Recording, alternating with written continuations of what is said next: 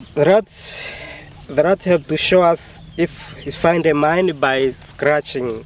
Uh, this scratching is the signal that we taught at the earlier stage that wherever they get the smell of TNT, the smell of mine should scratch with uh, three seconds up to five seconds. So, so the rat to be good in detection mine should be uh, faster learning, but also uh, accuracy in detecting.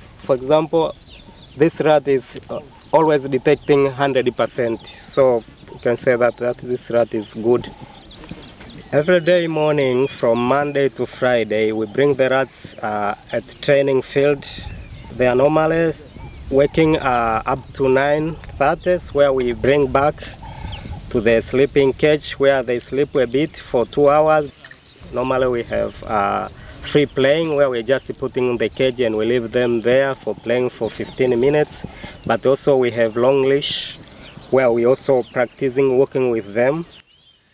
People in Tanzania were thinking that the rat is so destructive and is uh, animal that we should keep it away from the, the, the people. But now they hear Apopo is uh, training the rat to detect landmine as well as tuberculosis. So now the people, uh, they don't even hate the rat because now they know that they are saving human life. For myself, uh, I'm feeling very comfortable with the rat because uh, these rats, they are so hero. They are saving human life, you know, and we are working like a friend. So myself, I like, I like this animal very much.